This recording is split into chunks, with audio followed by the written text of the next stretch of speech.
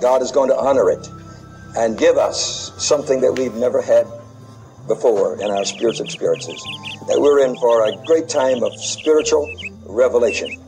Uh, these classes, of course, are completely non denominational, they have no relationship to any denomination on the face of the earth. Come take a ride on this subway train. Get into this lane, Jesus' lane. I have a word for you, and the word is God. The narrow and wide gates. Enter through the narrow gate, for wide is the gate, and broad is the road that leads to destruction. And many enter through it, but small is the gate and narrow the road that leads to life, and only a few find it. Matthew 7:13. God disciplines his children. In your struggle against sin, you have not yet resisted to the point of shedding your blood.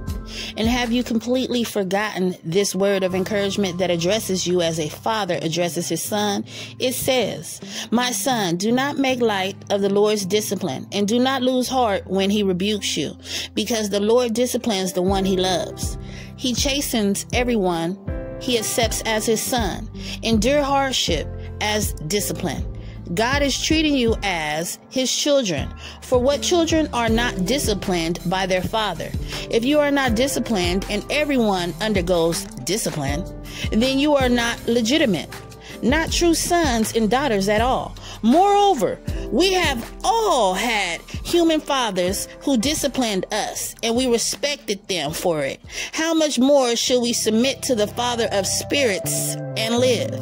They disciplined us for a little while as they thought best, but God disciplines us for our good in order that we may share in His holiness. No discipline seems pleasant at the time, but painful later on. However, it produces a harvest of righteousness peace for those who have been trained by it. Therefore, strengthen your feeble arms and weak knees. Make level paths for your feet, so that the lame may not be disabled, but rather healed. Warning and encouragement. Make every effort to live in peace with everyone and to be holy. Without holiness, no one will see the Lord.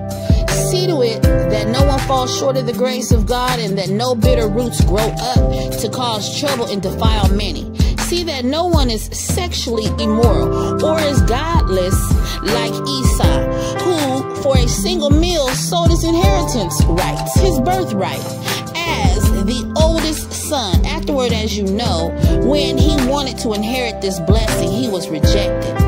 Even though he sought the blessings with tears, he could not change what he had done. In Jesus' name, church. This is a word to the wise, to the church.